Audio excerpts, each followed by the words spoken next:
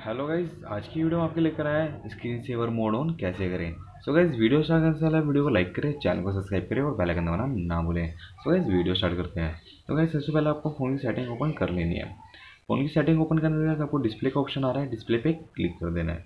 इसे ओपन करने के बाद आपको नीचे एडवांस का ऑप्शन आ रहा है, इस पर क्लिक करें। इस पर क्लिक करने के बाद आपको देख सकते हैं नीचे स्क्रीन सेवर तो गाइज़ स्क्रीन सेवर पर क्लिक कर दें ये ओपन हो जाएगा। तो गाइज़ ओपन करने के बाद आपको देख सकते हैं स्टार्ट नाउ तो वैसे इस पर क्लिक करेंगे, वैसे आपका स्टार्ट नाउ हो जाएगा।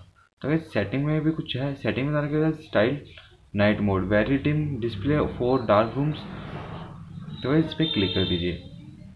ये हो जाएगा। तो वैसे ऑन कैसे करें? स्टार्ट नाउ का ऑप्शन है, इस पर क्लिक करें। इस पर क्लिक करते साथ आप देखते हैं हमारा स्क्रीन सेवर मोड ऑन हो गया।